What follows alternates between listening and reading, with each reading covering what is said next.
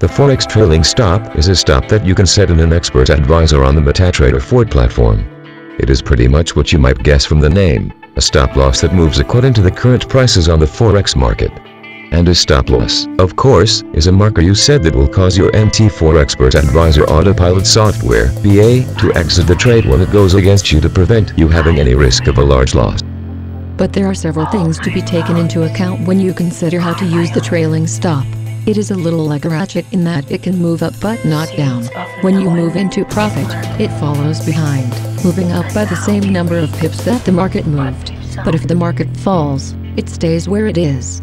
So the market can rise and rise and you go on making more profit, but when it falls just a little way, the stop loss comes into effect and exits your trade with whatever profit or loss you made up until that point. To give an example, you open a trade to go long. Of course at the moment of opening you are at point zero. Zero pips profit or loss. Let's say you set your trailing stop at minus 30 pips.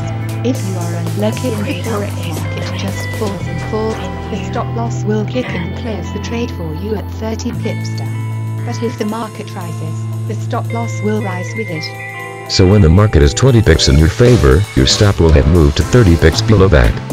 If the market then falls and the price hits the stop, the EA would get you out with a loss of just 10 pips. If the market rises to 40, the stop moves up to 10 above zero. You then have a guaranteed profit of 10 pips. In fact, as soon as the market rises by the same number of pips as your trailing stop, in this case 30, you cannot lose. Sure you could monitor the markets and operate this strategy yourself, but there is a risk of you failing to make your exit at the right moment and taking a greater loss than you planned, or having to exit a trade while the market is still rising, because you have to sleep or whatever. So as long as you can leave MT4 running, and EA on or Utopia it relieves a lot of the pressure that would otherwise be on you in this situation.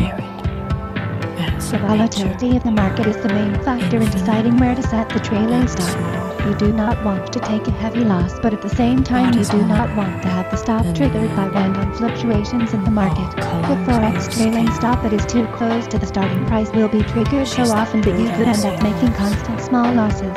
He hibernates within. Freedom is ringing. For whom the bell tolls, freedom is living.